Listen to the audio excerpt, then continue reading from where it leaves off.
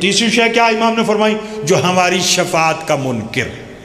वो भी हमारा शिया नहीं। मलिक साहब जो करबला मोहल्ला गए हैं मौला ने बार बार लेकर जाए।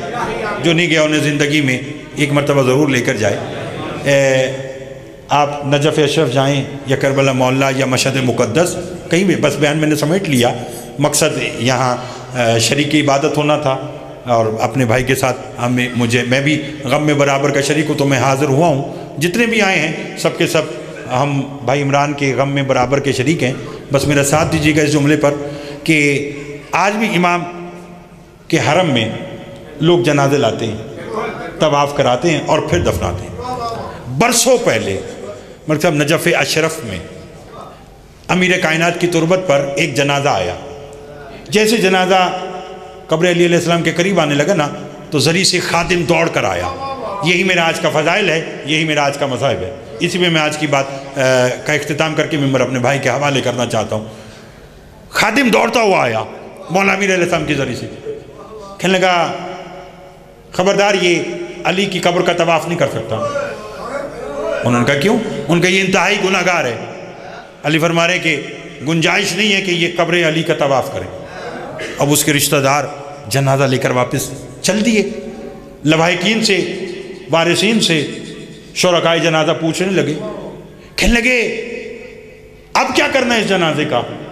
जनाजे के वरसा कहते, जिसे अली ने रद्द कर दिया। अली ने अपने जरी का तवाफ़ का जिसको इनकार करा दिया। अब उसे जलाओ, उसे दफनाओ, उसे दरिया बुर्द करो। कुछ भी नहीं हो सकता। ये कहकर मायूसी के आलम में जनाजा लेकर जा रहे थे।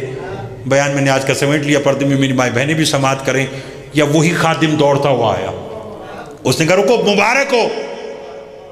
अली फरमा रहे हैं कि इसकी जनाजे को मेरी कब्र का तवाफ़ कराओ और वादुसलाम में दफना दो। मैं अली ने इसकी शफात कर दी। पता नहीं किसी बात समझ में आएगी और कौन कितना बोलेगा। पर मैं मैं अली इसकी निजात का जामिन बन गया। मैं अली इसकी शफात का लाजम लकुन शफात मन तखदा इंदर रहमान आदा। जहाँ से बात शुरू की, वहीं पे आज की बात का अख्ताम और मेंबर मैं अपने भाई को देना चाहता हूँ। कहने लगे, अली फरमाने की इसकी शफात हो गई। अब वो खुश हुए, जनाजा जो लेकर वापस चले लवाकिन ने खादिम से कहा, कहने लगे अभी तो तू आया था और तूने आकर कहा था कि ये इंतहाई गुनागार है। एक लम्हे में क्या हुआ कि इसकी बख्शिश का सामान बन गया? इसकी शफात अली ने कर दी? उसने कहा हाँ जब तुम इसका जनाजा लेकर आए थे तो ये गुनागार था। मगर जब तुम जनाजा लेकर वापस चले, तुमने देखा नहीं कि आंधी चल पड़ी थी और हवा का रुख करबला मोहल्ला की तरफ़ से था? करबला की खा के शिफा इसके कफन पे आ गई। और अली फरमा रहे हैं कि जिसके कफन पर खा के शिफा आ जाए, मैं अली उसकी शफात का जामिन बन जाता।